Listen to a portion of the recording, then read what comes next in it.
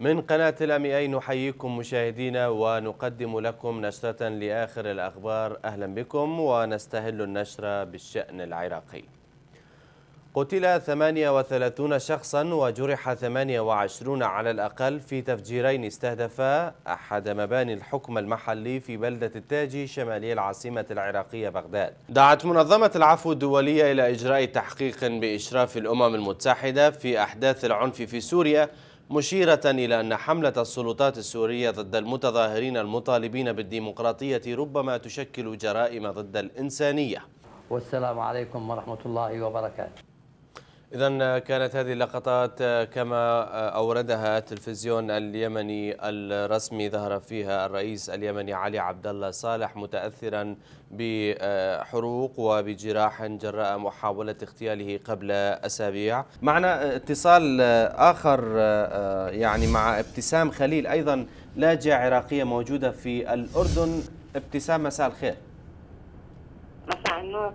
أهلا وسهلا بك معك رامي صادق من قناة الامي إي معنا في الاستوديو الأخ باسل بقال من برنامج تبني عائلة لاجئه أهلا بك ابتسام. بداية يعني نحب نتعرف على ظروف الحياة اللي تعيشوها في الأردن حتى تكون واضحة الصورة بشكل أكبر للناس وللعوائل الموجودة في الولايات المتحدة. وضع ال UN وضع المنظمة الدولية للهجرة ال UN كيف تتعامل معكم كلاجئين؟ ما هي فرص قبولكم في الدول الأجنبية منها أمريكا وغيرها؟ والله إحنا يعني قبل كم يوم كنا بندوة يعني آه طابت أوقاتكم مشاهدينا الكرام أهلا بكم في حلقة جديدة من برنامج قصص البنفسج في هذه الحلقة سنتطرق إلى موضوع الزواج وإلى موضوع اختيار الشريك في الحياة. كما تعلمون أن للزواج أهمية كبرى في حياتنا البشرية فهي التي تحافظ على بقائنا على وجه الأرض وأيضا ضرورة لبناء عائلة وأيضا إعطاء لبن جديدة في المجتمع تسهم في بناء المجتمع وفي تطور المجتمع إذ كان هذا الشخص خاصة الأطفال عندما يكبرون يستطيعون تحقيق الأحلام ويستطيعون أن أن يحققوا مكانة معينة في المجتمع.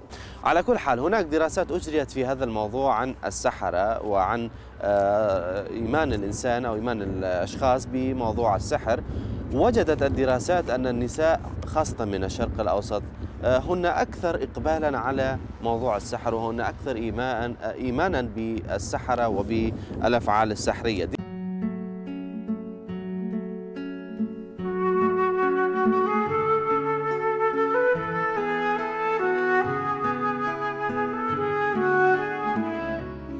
سأقول لك أحبك حين تنتهي كل لغات العشق القديمة فلا يبقى للعشاق شيء يقولونه أو يفعلونه.